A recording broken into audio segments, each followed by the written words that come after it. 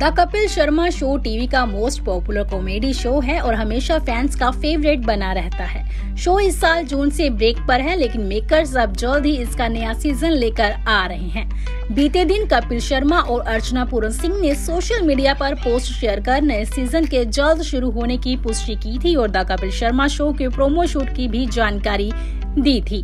अब शो को लेकर एक नई जानकारी सामने आई है, जिसके अनुसार शो के फ़ेमस एक्टर कृष्णा अभिषेक ने द कपिल शर्मा शो को अलविदा कह दिया है।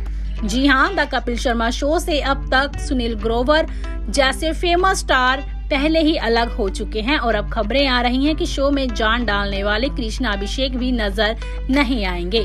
कृष्णा अभिषेक के शो छोड़ने के पीछे की वजह एग्रीमेंट को बताया जा रहा है। शो के प्रोड्यूसर कृष्णा द्वारा मांगी गई फ़ीस देने के लिए तैयार नहीं है और इसे ही इनके शो से अलग होने की बड़ी वजह बताई जा रही है। कुछ दिनों पहले खबर आई थी कि शो की एक और कलाकार भारती सिंह भी द कपिल शर्मा शो के नए सीज़न में नज़र नहीं आएगी, लेकिन भारती सिंह ने इस खबर की पुष्टि की और शो छोड़ने की वजह अपने नए प्रोजेक्ट को बताया। इसके अलावा वे सारे गामा पा लिटिल चैम्प्स नाइन की शूटिंग में भी व्यस्त हैं और अपने बेटे लक्ष्य को भी समय देना चाहती हैं। वेल, दोस्तों, अभी तक कुछ कंफर्म नहीं है। हो सकता है ये सारे विवाद थम जाएँ और कृष्णा शो पर धमाकेदार एंट्री करते नज़र आए। आपकी इस पर क्या राय है? हमें कमेंट सेक्शन में ज़रूर बताएँ और इस तरह की और अपडेट जानने के लिए आप जुड़े रहिए पाँच तरह न्यूज़ एंटरटेनमेंट के साथ।